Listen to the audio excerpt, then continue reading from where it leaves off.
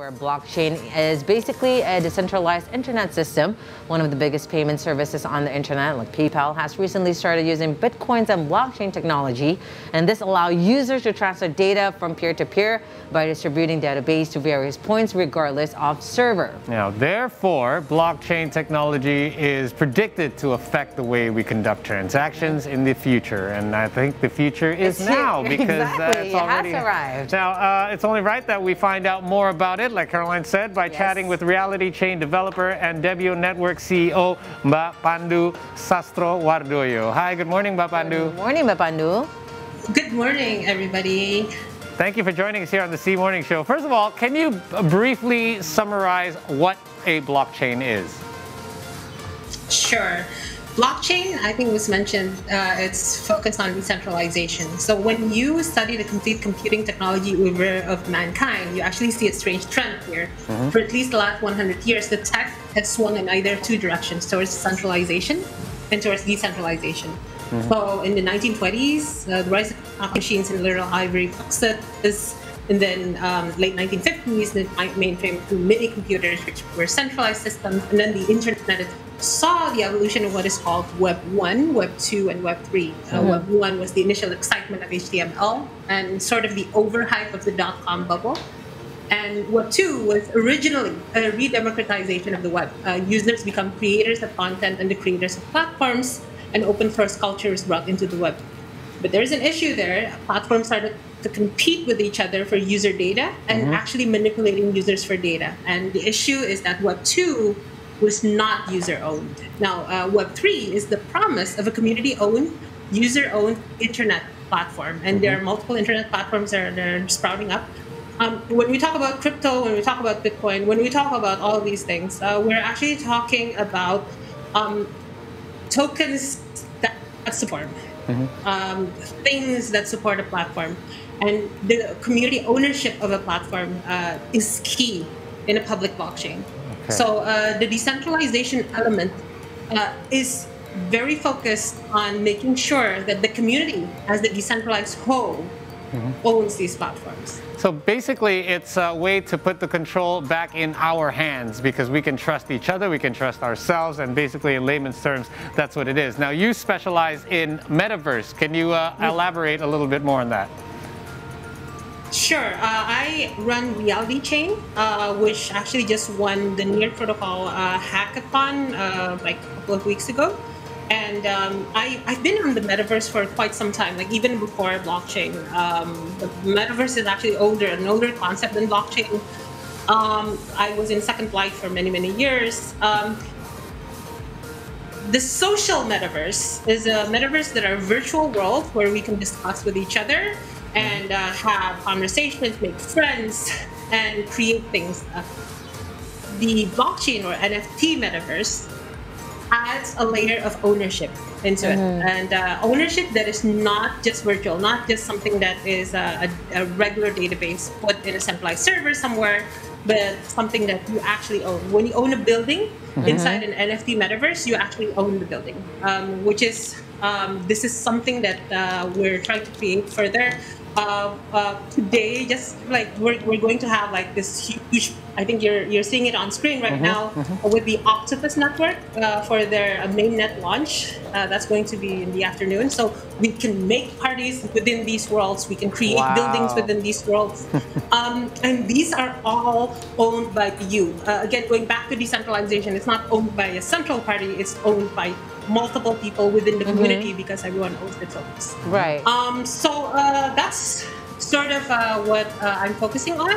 And we are also developing our own metaverse, uh, which is called Reality Chain, as I mentioned, uh, of which the first engine is called 2Dverse. Uh, you can actually go to 2dver.se to actually uh, take a look. Uh, and uh, we're going to continue developing um, because the current crop of NFTs and the current crop of blockchain technologies directly support how we are going to uh, create the future metaverse. Yeah, and right. this thing is a is a money yeah. making thing as, as well yeah. to certain people. Now, but Pandu, you know, if um, just for me, because I'm very limited, I have like very limited knowledge about this, and that's why I hope you know by having this discussion with you and also with Paul, you know, it kind of enrich my knowledge about this because all I know, you know, my children of age of five of eight, of them playing Minecraft and Roblox, you know, and when they were talking that they're making buildings and everything, I'm like you gonna be an architect? They're like, no, mom, this is like our world. And I'm like, okay, like, I think mommy has to learn more about this, you know. And you know, you were talking about yep. your metaverse, uh, yours uh, itself uh, just now, but does that mean that in that world you can buy, you know, you purchase, like you said, purchasing land and products and buildings in real world prices and also certificates? Correct. So uh, this is something that uh, differentiates Minecraft, Roblox, and like uh, our uh, NFT metaverses and blockchain metaverse. Um, when you are in Roblox, someone else owns the server. Someone mm. else uh, owns the running of the server, mm-hmm. the operations and maintenance. When you're actually using blockchain metaverse, an NFT-based metaverse, the ownership of even the servers, of even the running of the servers, of all of the operational uh, perspectives are run on top of these. Uh, um, well, basically, let's let's call them shares, the, these mini shares mm-hmm. of the platform that everyone basically owns. Uh, this pushes it back to decentralization. This pushes, pushes, the, pushes the control back to the community as well. And uh, that that is sort of a game changer for mm-hmm. uh, everything. There's there's a lot of metaverses out there that already existed, uh, like NFT metaverses. Crypto Voxels is one. I like it. It's amazing. There's also Somnium Space and also Sandbox.game. Mm. Um, all of these uh, look like games, look like Roblox, virtual worlds, whatever. Mm-hmm but the ownership layer, that ownership layer is based on the tokenization of blockchain and uh, the capabilities of blockchain to ensure that well, whatever you own you will always own. Okay, now I'm going to go on that because um, I understand how the monetary system works. I suppose if you buy an F NFT, some a digital piece of property, mm -hmm. you can exchange sure. that for a. You can put a certain value on it as long as somebody else is willing to pay that, pay you that value, or what you would value it yourself. However, how does it actually work?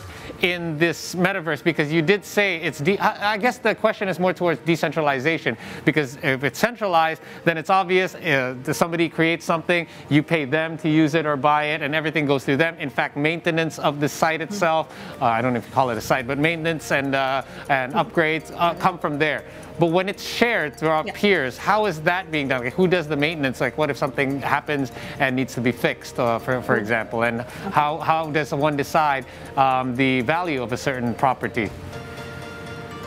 This is actually a very good question, um, and this goes back to each project's tokenomics. Uh, a metaverse created on the blockchain needs to have tokenomics that are correct, and the idea behind the tokenomics uh, okay. needs to basically go back towards uh, the the upkeep of the site. Well, not the site, the mm-hmm. world, the metaverse. The world, right? Okay. Um, uh, yeah. So, so uh, the revenue. Uh, so yeah, not all metaverses are created equal. Not even blockchain metaverses. The mm. one thing that is correct is that uh, NFTs are always going to be something that traces, uh, that certifies the ownership of an item. And uh, mm-hmm. that item can be a JPEG, that item can be a, a piece of music, and mm-hmm. that item can be a piece of land in, in, in the metaverse. Now, the, the thing about metaverse projects is, and the thing about a lot of blockchain projects is, um, it is open. Uh, on smart contracts are all the, out there. Everything's audited and uh, the ownership mechanisms, the NFTs, are also uh, on the blockchain, which means that uh, since everything is open, if there is a new metaverse wishing to build upon an old one that failed, mm. okay. they can actually just use the same NFTs and confer the same ownership mechanism. So oh. um, the current uh, idea is super different from the way enterprise projects used to do things, Web2 projects used to do things, because the ownership is conferred to you in a way that is almost physical. There's mm. almost like a real thing. There's almost like, you know, a physical object. Mm. That ownership is truly yours. Now, uh, the, I mentioned the tokenomics because when you're going into a project, you're buying into a metaverse project, that's something that you need to ensure that the ownership related to the operations and maintenance and the running of the servers and the team as well. Mm-hmm. And that uh, entire bit of tokenomics becomes very, very key. But even if that project has issues, your ownership of that NFT is maintained, and the future project can basically take over. Right, because then there's uh, you can check with the NFTs like how much was paid for it before. So there's always a uh, record, and you can't change those. And very things. transparent also. But now uh, my question is, in this metaverse, is there any protection? Because then, you know, like in real world, Right, we good- do need protection. But what about in metaverse? Yeah, so uh, two types of protections. Of course, one is the protection, the general protection, I guess, because you have kids. Uh, protection of like uh, making sure that your kids don't don't come into like worlds that are that are not Yeah. good for them, that are not safe for work, not safe for kids. Um, and uh, those exist. Uh, they are implemented in a decentralized manner through reporting, through moderation, through decentralized moderation is what we call them. That's one part of uh, being safe. Uh, the other part of being safe is, of course, uh, making sure that uh, whatever you invest in uh, is uh, is actually something real. Uh, Yeah. and this is this is uh, this is not a problem for the bigger metaverses. Uh, crypto voxels, uh, Somnium Space, uh, everything that's already established, uh, they're there. But it is the problem with like uh, some metaverses that haven't basically delivered on their uh, engine. Uh, like you're just buying a piece of land with the promise of like future land utility. Ah, okay. And uh, that's sort of uh, common at the moment. To be frank, there's a lot of metaverse projects that are coming up, which is why for my metaverse project, I'm definitely doing the engine first. Uh, so ensuring that everyone can uh, take a look and even try it. The beta is up. Uh, the beta is going to be up really, really soon. Um, and then uh, you know uh, all the land sales, etc. That's that's going to occur. It's not related. Look, like there's a lot of out out out there projects Right. that are selling uh, um, virtual land without having an actual game engine. So you're basically just buying a line in a decentralized database. Uh, and uh, I disagree sort of with that. So uh, yeah, so um, if you want to jump into the metaverse, try to find something established. Right. Just find something with an engine. Try to find something that you can already try. Um, and try the gameplay, try the controls, try the community, and then uh, you may invest. in Ironically, uh, that part is very much like real life too, Yeah. because you can you can Right. buy a promise of land and a good house, but Correct. until it's built or in front of your house, Yeah. better Correct. just to go with someone Yeah. more established uh, contractor. So uh, throughout this pandemic, I've been very lonely at home. Lucky for me, I have a family. But one thing that I love is parties. I miss going to parties, and apparently, one of the interest things that interested me in this metaverse is the fact that you can actually host or attend a party, and apparently Pandemic you free. pandemic free. Yeah, yeah, exactly. With uh, total social distancing, Yep. and we heard that you once held a, a actual par- a big party held in the reality chain that was attended by 1,200 participants Wow. from all over the world. Can you tell us about it? How did you get the word out? Why was your party so hot? You need a DJ? Sure. Uh, the party was hot. It was uh, uh, an Octopus Network party on crypto voxels, uh, actually, and um, that was done a couple of months ago. Um, but today, like Yeah. just today, well, today we're actually going to do another party, Oh. and uh, we uh, we had. Um, what uh, 1200 people come uh, but today we have registrations from over 1400 people uh, attending Wow. one single party. And uh, that, that that single party is like in this huge in-world metaverse building Uh-huh. i hope the server will hold up uh, uh, but yeah, there's a lot of parties. I uh, after the pandemic, I've gone to more parties than before the pandemic.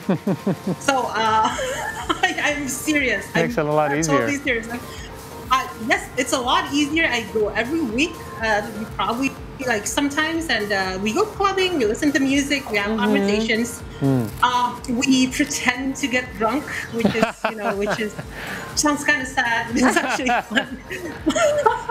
and uh, yeah, the the the the, the community. Uh, the the thing is, metaverse is mutual worlds part. Metaverse Okay. is the social part. The meeting people part, getting Okay. entertained with your friends, like you're, you're like you're seeing on screen. Yeah. Is that me dancing? That's me. Yeah. Ah. This is something that we And, uh, desperately need throughout uh, this This pandemic. is what actually you guys are doing when you're, you're when you're hosting a party. Then Bapandu, a real live party. It seems why, right?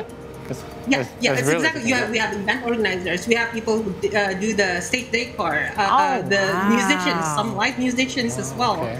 Um, The you, whole you can, You can see like sometimes we zoom into the screen, like Yeah. to the to the yeah. Then those are like sometimes musicians. We had a comedian at the first metaverse party, Okay, and you- uh, that's what- Whether one of the you're aware of it or not, Carolyn, we've already been experiencing this, but one step back. Mm. For example, we would stream into live uh, live feeds from a musician or a DJ in the Yeah, pandemic, yeah, but we'd probably yeah. like message each other Yes. or talk to each other in the chat box, like, Yes. oh, so and so is here. still doing Well, it This now. is like the next, yeah. Well, this is where we got to go next. Yeah. I just found our new weekend activity. We got to go to this uh, reality world. Uh, if if I can add a few things, uh, William Gibson actually uh, envisioned uh, the concept of the metaverse. He called it cyberspace. And uh, cyberspace is, of course, a very broad term. Uh, texting can be called uh, cyberspace. Zoom these days can be called cyberspace. Um, and then Neal Stephenson uh, created the term metaverse, Right. which actually is more focused on virtual worlds, but it, it, it has a lot of parallels with, with the word cyberspace. So, um, in a very wide definition, the metaverse is everything digital that is social communication. Um, so, even Telegram, even WhatsApp can be Yeah. called the metaverse under this huge definition. Um, it's just that, you know, it's more fun to do it in virtual worlds. Definitely. So, so Yes. looks like fun. It is. So hopefully we're going to get invited uh, on your next party because we can't do it this afternoon, Mabandu. Anyways, Mabandu, uh, what is the current progress right now for the reality chain around the world? Can you please enlighten us with that? Okay, so Reality Chain, we're uh, going to be launching at the end of the year, uh, December uh, 2021. Uh, And we're going to be launching it as an app chain on the Octopus Network. Uh, we're currently collaborating with Unique One Network and Myriad Social, which are two uh, blockchain projects to deliver their own metaverse. So we are actually a metaverse MSP or a metaverse as a service company. So if a company wants to create their own metaverse, they can contact us and we Oh. can deploy a metaverse for them which that you're already connected to everyone else's. So it would be like Mm. one single world. You just own like a city inside that world. Wow. Oh. Yeah, that, Can be a real life sultan. uh, end of the Exactly. We can have a Yeah. SEAToday City. That's right. That would be amazing for all of us. Uh, but Bandu, uh, real quick before Yeah. we have to let you go, uh, well, this is this is such a limitless uh, thing. I can't get my ra- head wrapped up, wrapped Yeah. around it. When I was little, if you told me something like this would exist, I wouldn't believe you. Nope. But where do you see this uh, going to? What is the potential? What is the limit for something like this in the future? I think this is uh, going to go very mainstream very soon. Uh, people are going to be using this for work. Um, I think some people are already using this for work, for collaborations uh, instead of Yeah. Zoom, using avatars instead of just That's you so know uh, cool. video feeds. And um, and with the rise of VR and AR, uh, things are going to be more and more realistic. And uh, a a lot of the things that uh, happened uh, during this unfortunate pandemic has caused us to realize that you know the digital universe is very useful, Yeah. and we can meet people online. Uh, we can also meet people inside Schools. digital worlds. Yes. This is where life Yes. shifts, right? Yep, exactly. Wow, thank you so much, it's Mapandu, for your time. We really do appreciate a more in-depth look and an easier and clearer understanding of the metaverse, and we hope to be able to join one of your parties in the near future. Enjoy yours today in the afternoon. Yeah, have a good Thank one. you. Have a have a virtual drink for us. Thank Take you. Bye, Bye-bye. Mabandu. All right.